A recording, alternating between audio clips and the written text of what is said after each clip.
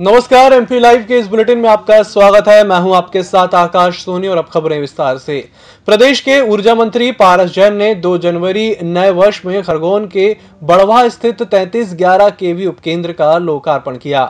इसके साथ ही ऊर्जा मंत्री ने बागफल, जगतपुरा क्षेत्र के घरेलू और कृषि उपभोक्ताओं को भी बिजली की सुविधा प्रदान की।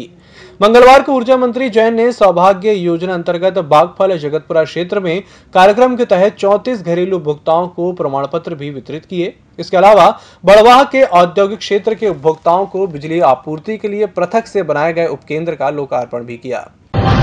मुख्य सचिव बसंत प्रताप सिंह ने राष्ट्रपति के 8 जनवरी को चित्रकूट आगमन और प्रधानमंत्री के 7 जनवरी को ग्वालियर आगमन की तैयारियों की समीक्षा की। उन्होंने वीडियो कॉन्फ्रेंसिंग के ज़रिए ग्वालियर और सतना के कलेक्टर से तैयारियों के संबंध में जानकारी ली।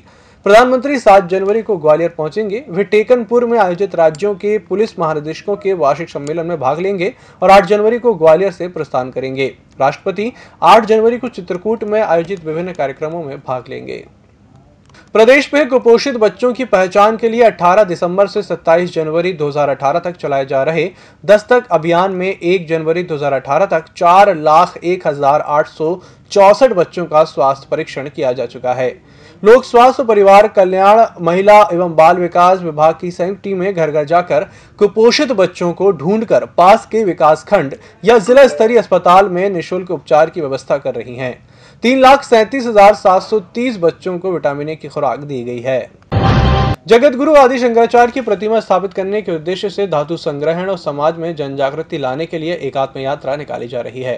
अशोकनगर ज़िले में एकात्म यात्रा के प्रवेश होने पर ज़िले के ग्राम पीली घटा पर एकात्म यात्रा का भव्य स्वागत विधायक गोपीलाल जाटव और कलेक्टर बी एस जामोद द्वारा किया गया।